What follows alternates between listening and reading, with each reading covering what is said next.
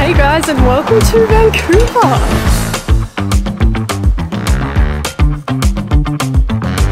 Now, as you can tell, it's a bit of a miserable day. Unfortunately, the weather gods have not hit us kindly in Vancouver like they did in Canmore and Banff. It is set to rain pretty much every day we are here. Yep, it's raining again. So luckily our Airbnb had some umbrellas we could borrow. But we have just taken the bus to Granville Island where we are heading to the local market to have a wander hoping it's indoors, I believe it is, but otherwise just having a bit of an explore around here today. Guys, this place is a little overwhelming. There is so much choice. There's like every single food cuisine. There's fresh baked goods. We have picked up some donuts from Lee's, which is a donut shop that is all around Vancouver, not just in the markets, but we could not resist. But we might have to pick up a few other things to try because there is so much to choose from. Ah. On to our second course. I've gone with a burrito and Stace has gone with some tacos. Our bellies are very full now, so we're going to try and walk off some of the food by walking across one of the bridges that connects Granville Island to mainland. I don't know if it's possible, we'll see, we'll see what we can do. But first, Stace has decided that we're going to take a little detour through the kids market that is right beside Granville Market. Well guys, can confirm you can walk over Granville Bridge. It is a bit of a journey to get to, I guess, the mouth of the bridge. A little bit of backtracking away from Vancouver before you come back. Back onto bridge. the actual road. But we made it. We are on our way. And I have to say, the views from the bridge are pretty spectacular. We are now beginning our walk along the coast, starting off with Sunset Beach. And I'm not gonna lie to you guys, it's not the most beautiful beach I've ever seen, but for an inner city beach, it's not bad at all. It has sand. Granted, the weather is again terrible today, but it's called Sunset Beach for a reason. It must be a pretty good spot for the sunset, and you can't complain with sand and water. We have now made it to 217.5 ARC X13. Please explain. I read that off screen, I did not memorize it, but that is a sculpture here on Sunset Beach. Now the sculpture is named that name, I won't repeat it because it was very difficult to memorize, because it refers to the precise degree and number of arcs in its composition. So that's pretty interesting. Now the reason for the shape is debatable among locals. Some people say it just perfectly frames the sunset, while others say that it reflects the ribcage of a whale very well, kind of reminding us of global warming. Pretty interesting and pretty cool. We've now wandered down to the point where Sunset Beach meets English Bay and we've seen the Inukshuk as you can see behind me so I believe this comes from the Inuit culture and is usually used as a navigational symbol or landmark but it sits here where the two beaches meet I believe it was donated here and sits here but it's a pretty cool landmark I have to say and a very cool point along the coast. As you guys can see the rain is not letting up. It is here to stay as we walk past English Bay Beach, which is pretty similar looking to Sunset Beach. A little bit larger, I'd say it'd get pretty busy in summer, but not so busy on a day like today. And we are walking towards a monument, a pretty famous monument. It's called A-Maze-ing Laughter, and I'm pretty excited to see it. And guys, here it is, A-Maze-ing Laughter. I have to say it's way bigger than I thought. Each sculpture is almost, well, almost double my height. Very tall. Maybe like one and three quarters of me. Very, very tall. There are a lot of them. It depicts the artist smiling and laughing hysterically. Some say he's laughing joyfully, some say it's cynically. The artist will not disclose which one it is.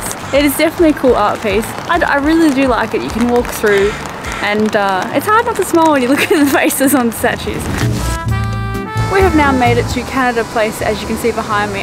Now from what I can gather from the internet I think this is like a place where worldwide events occur. I have to say I'm a little uh, underwhelmed. I think it's mostly to do with the weather. As you can see it's a terrible day but I hear that there are light projections at night on the sails which I think would be pretty cool and would definitely make it worthwhile visiting at night. Welcome back to another day here in Vancouver. It has not stopped raining, like literally it hasn't stopped raining. I think since we arrived, there's actually a rainfall warning for today. That is how wet it is. Since we arrived a few days ago, Vancouver has had the second wettest day of the entire year as well as the wettest day since February, which makes doing tourist activities a little bit difficult. There's only so much you can do with an umbrella and a raincoat. So we have wandered back into downtown, checked out some of the shopping centres, and have wound up at none other than Tim Hortons. If you are struggling to find things to do in Canada, Tim Hortons will always be there. Tim is probably your best Canadian friend. So we got ourselves some Timbits because we're feeling very sorry for ourselves an Iced Capp for the first time, which is apparently a Canadian must try. It's essentially an iced cappuccino. It's very sweet, but very delicious. And I tried a pumpkin spice latte from Tim's because I really liked it when I got it from Starbucks in. So, what are we going to do for the rest of the day? Probably nothing, guys. I'm very sorry, but it's cold, it's wet, it's miserable. Hey guys, and welcome to our fourth and last day here in Vancouver.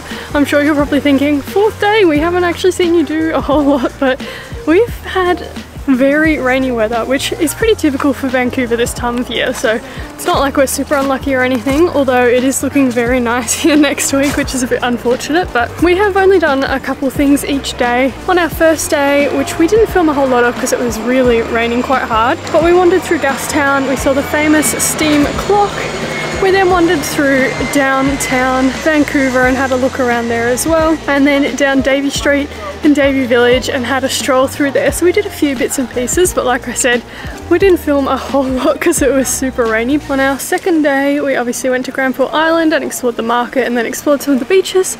And yesterday we had a super lazy day and just ventured out to the CF Pacific Centre, which is just a shopping centre in downtown Vancouver.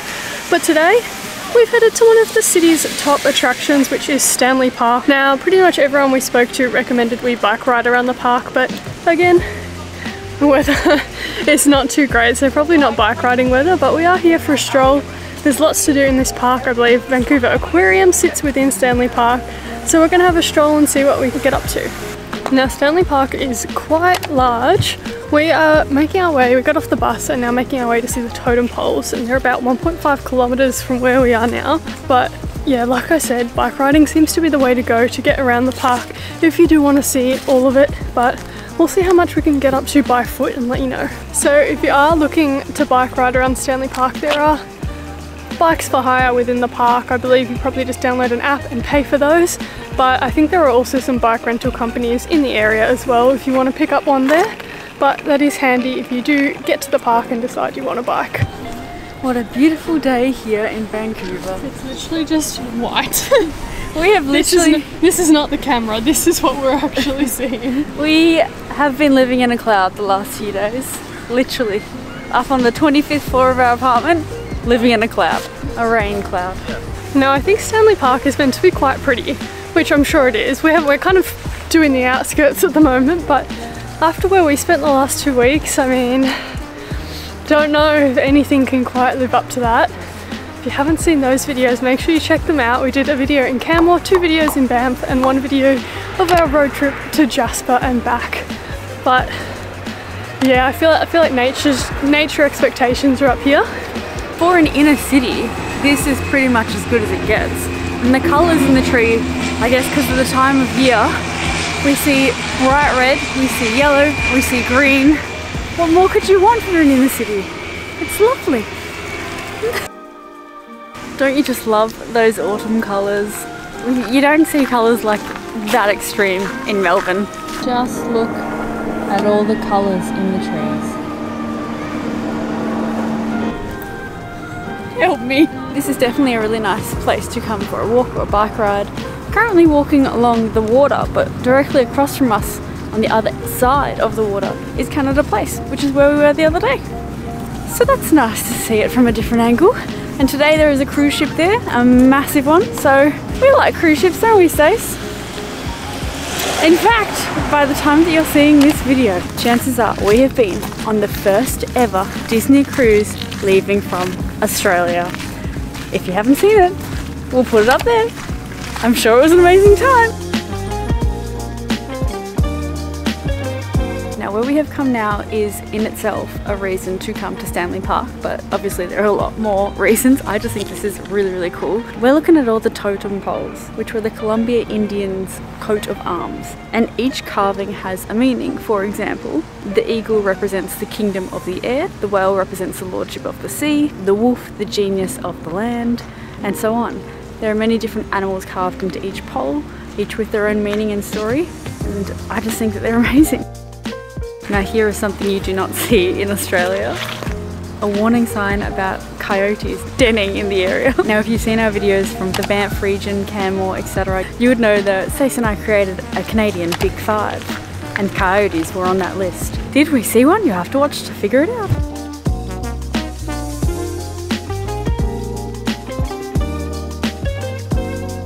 I must admit this is a very, very beautiful park and I bet that it'd be 10 times better with a blue sky, some rays of sunlight, not as much rain, but even with the rain, it's very beautiful.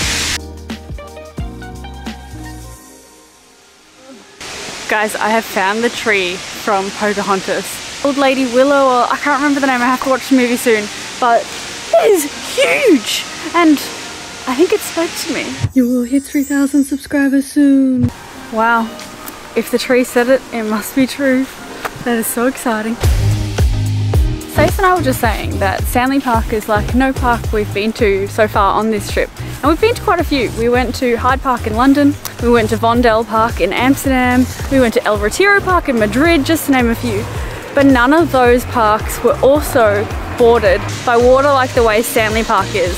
And I think the Seawalk kind of says all of that. You can walk directly around the park, it takes ages because it's massive, but be sandwiched between the park and the seawater.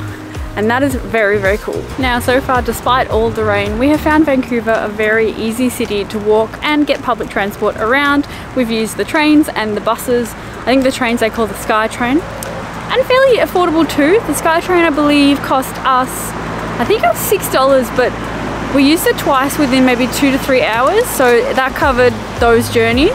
And I think the bus journeys have been about 350 Canadian dollars, so not too bad at all. And very easy. Bus stops are very easy to find and very easy to get from one form of transport to another. Speaking of which, we are leaving Stanley Park now. We're getting the bus to Gastown. Well guys, welcome to Gastown, a district very, very unique in both pathways in terms of brick pathways, but also architecture and atmosphere. It has a bit of an industrial feel to it. It's a very cool hipster vibe, very cool lampposts. I don't know how, to, how else to describe it. It feels a bit like Londony. Very unique though and it is definitely somewhere that you have to check out if coming to Vancouver. We actually came here the other day, our first day in Vancouver. We got rained out real bad because we came to see the steam clock, famous world's first steam clock. Seriously, how cool is Gastown? Brick pathways, brick buildings, lit up lampposts. I think, I actually almost think it would look better in the rain, so we're lucky that it is raining. Now, as I said, this is the world's first steam clock, which is pretty impressive, and I believe it steams every 15 minutes or so. Four puffs of steam, if I'm not mistaken. I don't know if I'm saying that right. It toots? It gets us. I, I'll Google it. Guys, while waiting for the clock to steam, we have encountered a bit of a, bit of a mistake, a bit of an error the clock is not right. Similar to when we were in Munich, when that big Glockenspiel clock was not on Apple time. It seems that the steam clock is also not on Apple time. Who's correct? Now is the moment of truth. That answers my question.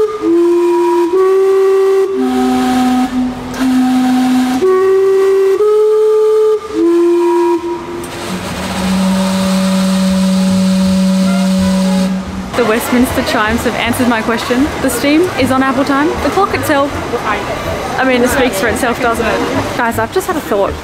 Do we think Gastown is called Gastown because it is home of the steam clock? And steam is gas. Come to think of it, is steam a gas? Or is steam that kind of state between water and gas? Please explain. I'll Google it and I'll put the results in here.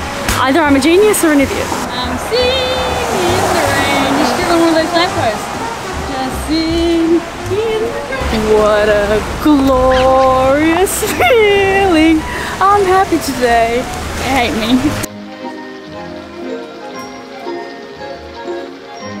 And just like that, our time in Vancouver and Canada is up, which is really sad. We've had a great time in Canada. Also sorry that this video is very likely very short. The weather really messed us around and we just couldn't do everything that we wanted to do, but hopefully you got a little bit of like a little bit of information from this video. We still had a good time ending here with our nice skyline view of Vancouver and tomorrow we are going to be somewhere very magical. Wait, hang on, I went the wrong way, if you know what I mean. So make sure you subscribe so you don't miss that and we'll see you in the next one. Bye.